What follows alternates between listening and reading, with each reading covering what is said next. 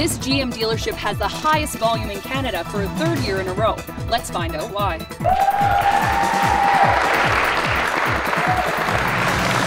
Well, it feels just wonderful. Of course, I don't think anybody's ever done that before, and uh, I mean, it's a credit to our customers. It really is. We've got an incredible database of customers that have been so loyal to us for so many years.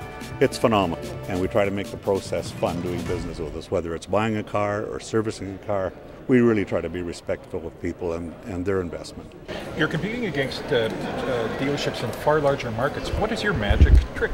Do you have any tactics or uh, techniques that are unique to this uh, dealership? Well, we do have a great selection. We really do. And we, we adjudicate the marketplace daily to make sure that we're priced in a very, very competitive place. We really try to respect people's time and their investment. There's lots of choices when people buy cars or television sets or whatever.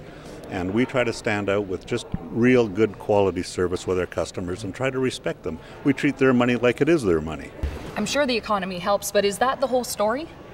Uh, no, I don't think it's about the economy because there's lots of other car dealers in our in our similar economy.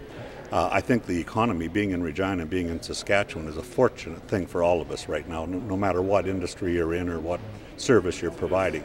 But I think it, it, I think it comes down to our staff. I really do, and the loyalty of our customers. And of course, customers aren't loyal or don't need to be loyal unless you treat them exceptionally well. And we, we really try. We really try to do that. How many years do you think you can uh, keep this going for?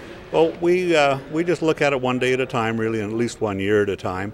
And I think as long as we remain competitive in our marketplace, we can get a, a generous share of the market. That's what we're hoping. But we know we have to deserve it. You know, you don't. It's not a free ride.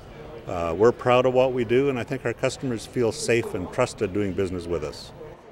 Is there something about this dealership that makes it so special?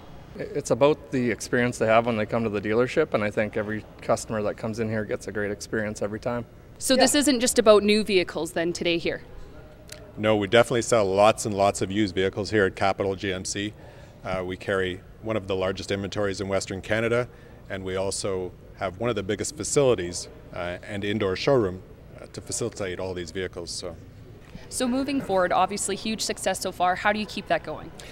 Well, you just keep doing what we've been doing. Uh, I've been here since '97, and uh, you, you, really got to talk about how great the people are here. I, have worked with a lot of people uh, at this store, and it's it's a pleasure to be here, and uh, we'll continue to do the same thing.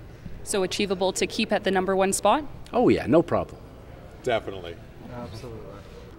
While the team here at Capital GMC is thrilled with the recognition, they still say their number one accomplishment is seeing you walk through these doors time and time again.